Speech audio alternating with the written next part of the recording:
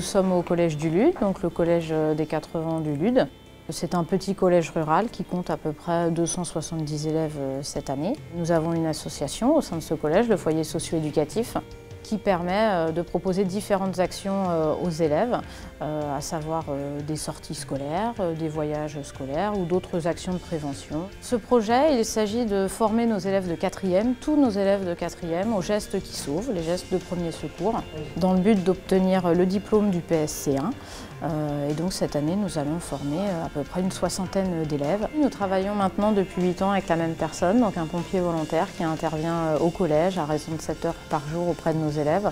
Euh, nous avons formé depuis maintenant 8 ans à peu près 600 élèves de 4e, ce qui est énorme. Ça va correspondre à différents gestes. Ça va être par exemple déjà de savoir comment on contacte les premiers secours, euh, comment on prévient, comment on protège une scène où il y a eu un accident. Ça va être également par exemple l'apprentissage de massage cardiaque. Ça peut être comment désobstruer les voies aériennes euh, également.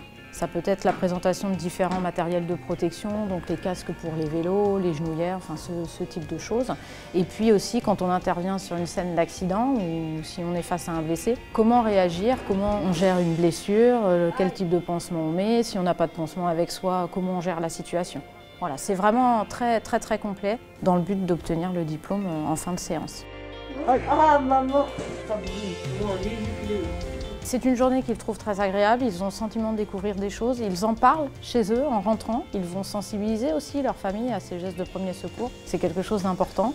Et puis euh, c'est vrai que cette, formation nous permet de nous dire si jamais ils sont confrontés sur un lieu d'accident ou si jamais ils, ont une connaissance à eux qui se porte mal, bah, c'est de se dire qu'ils seront capables de faire ces gestes qui sauvent et euh, de sauver des vies.